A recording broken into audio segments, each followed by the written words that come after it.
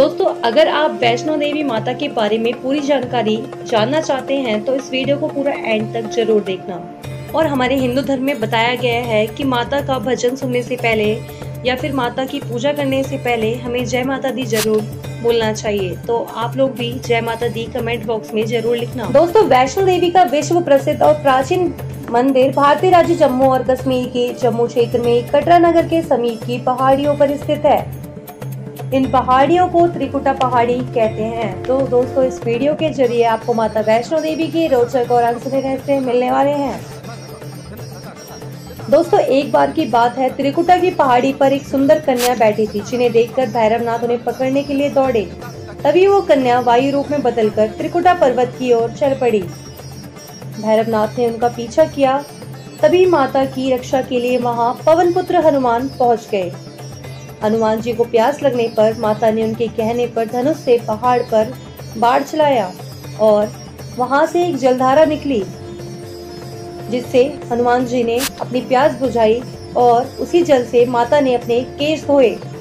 कहा जाता है, वहीं पास में एक गुफा में माता ने नौ महीने तक तपस्या करी और गुफा के बाहर हनुमान जी ने पहरा दिया।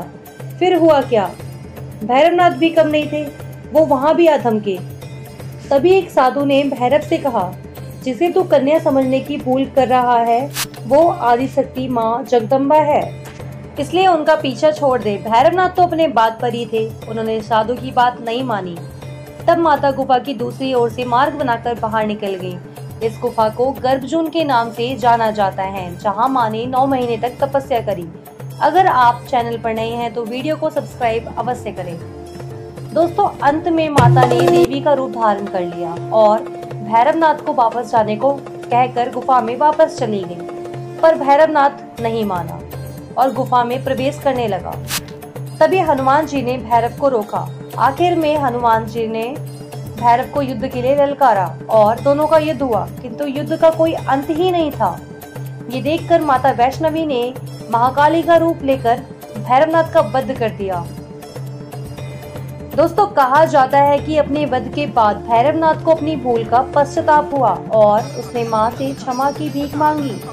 किंतु माता वैष्णव भैरव की मनसा जानती थी कि भैरवनाथ ने ये मोक्ष प्राप्ति के लिए किया था।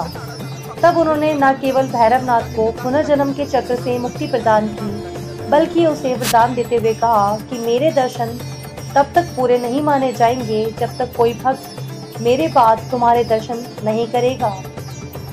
इसलिए दोस्तों, जो भी वैष्णो माता के धाम जाता है, वो वैष्णो माता का दर्शन करने के बाद भैरवनाथ का दर्शन ज़रूर करता है, तभी उनकी पूजा पूरी मानी जाती है। दोस्तों कमेंट बॉक्स में जय माता दी लिखकर वीडियो को लाइक एंड सब्सक्राइब ज़रूर करना।